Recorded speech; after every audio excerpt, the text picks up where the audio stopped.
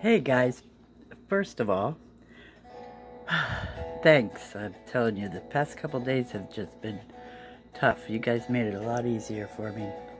Anyways, um, the auction is postponed until tomorrow. Yeah, I'm just beat.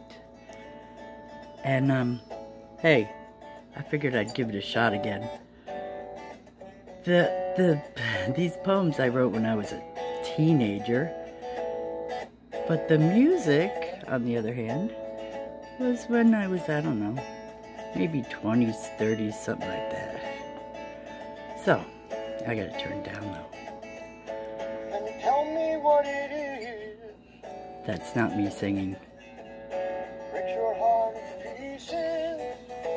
Anyways, um, ah, this is called My Sister's Son. Disclaimer, I have no clue which sister's sons I was writing about. My older sister had two sons, my younger sister had two sons, so it's for all of them, I imagine.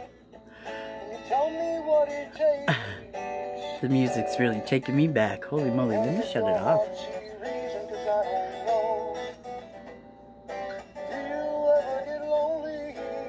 I like it though. I wrote it. That's my buddy.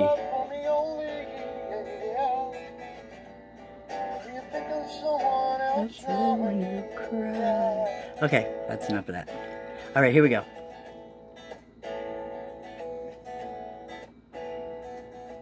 All right, here we go. I can't even read it. Tiny little man, all wrinkled in pink, with a bald little head and skin soft as mink.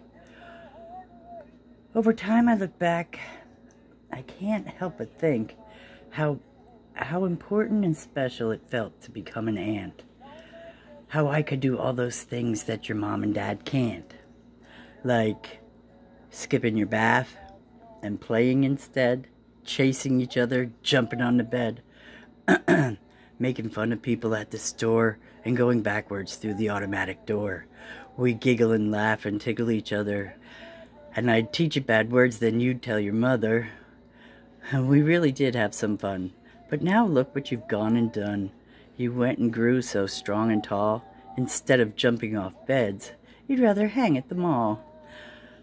Ah, there's one thing you cannot change, no matter how tall, no matter what age.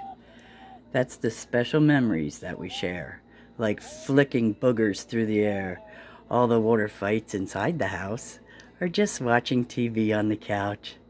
The scary stories in the dark and spitting contests in the park. No matter when or where or what you do, these memories we share, some old, some new, they stay in your heart. They'll remain part of you because memories don't change. They just don't. They just can't.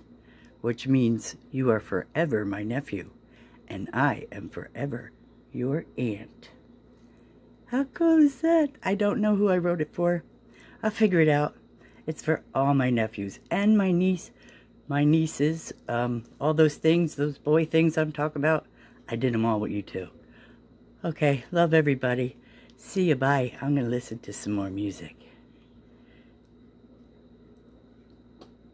It's like a blast from the past.